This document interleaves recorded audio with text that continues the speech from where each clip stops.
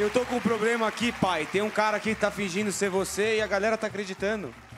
A partir de agora, Faustão na Band, meu. Olha aí, apresentando essas super feras. Impressionante. É verdade, meu. É o único cara que sabe fazer o, o tom de voz meu, é mesmo. Ô, louco, bicho. Então, pra, pra- pra chegar esse tom de voz, bicho, eu levei dois anos, bicho. Dois anos pra chegar ao tom da voz do, do, do Faustão. o Mas, ô, ô, ô, Faustão, você é muito amigo do Datena, não é? O por isso, mais do que nunca, pelo sucesso que vem fazendo aí no Brasil. Eu fiz né, homenagem pra ele aqui. É verdade, bicho. É, é muito boa noite, Fausto. É, é um prazer, né? Nós temos imagens. É impressionante, Temos né? imagens. Lá. E daqui É. a pouco nós Homenagem. vamos mostrar. Olha aí, ó. E o comandante, o comandante?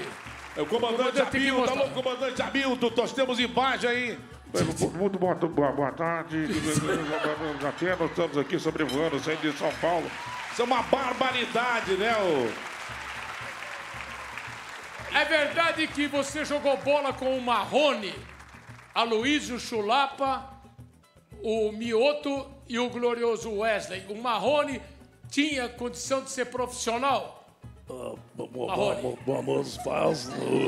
Eu sempre tive o meu sonho, na verdade, era ser jogador de futebol. Aí. E. acabei indo para música porque quando eu encontrei com o Léo, o Léo, quando ouviu eu jogando, falou: Você vai ser um grande jogador, né? Mas às vezes aí? você fica discutindo com o Bruno. O- o- Ah, você vai seguir carreira solo ou vai continuar com a dupla boa, Marrone? Eu, vou, eu falo, falei com, com, com o Bruno, meu, se ele parar de beber aí, eu posso dar assim, a carinha e tudo, mas, é, mas, mas o Bruno é um grande